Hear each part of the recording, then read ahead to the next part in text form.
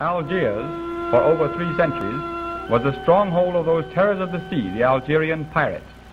But now, under the French, it is known as the Paris of North Africa. The old Arab city and the French one which surrounds it rise directly from the shores of the harbor. Over a pontoon bridge, we walk ashore and climb the ramp above the harbor warehouses. Halfway up, we come upon a group of Bedouins from the desert, huddled together, waiting for a bus to carry them to their homes in southern Algeria. Fine buildings face the harbor along the Boulevard Carnot and the Boulevard de la République. The Rue du Constantine is but one of the imposing streets in the European quarter.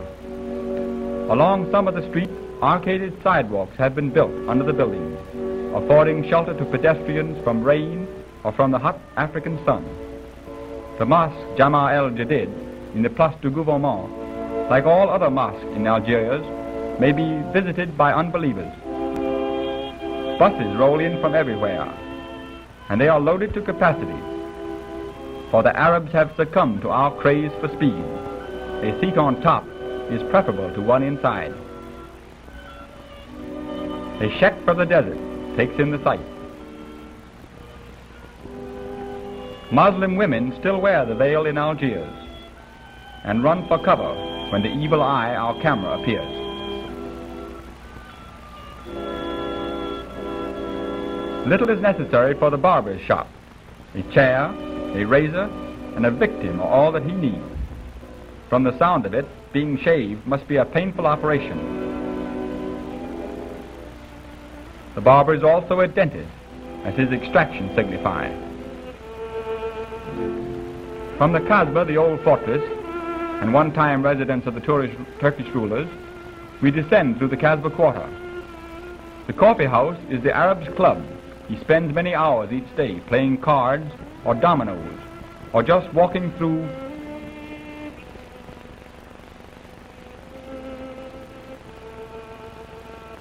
Many of these streets are just long series of steps. All of them are narrow and winding.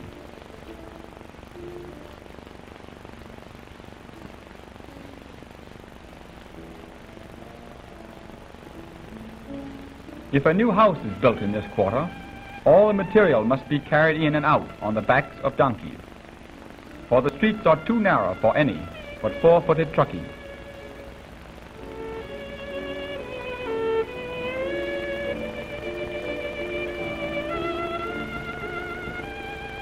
Over some of the streets, the upper stories of the houses meet,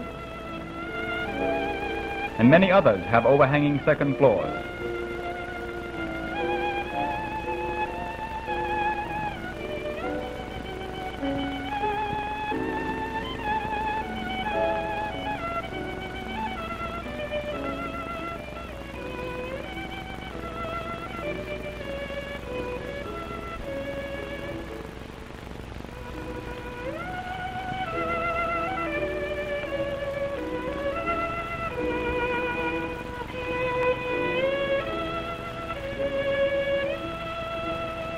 At the bottom of the hill, we leave these crowded, narrow streets to return to our ship and continue eastward on our way.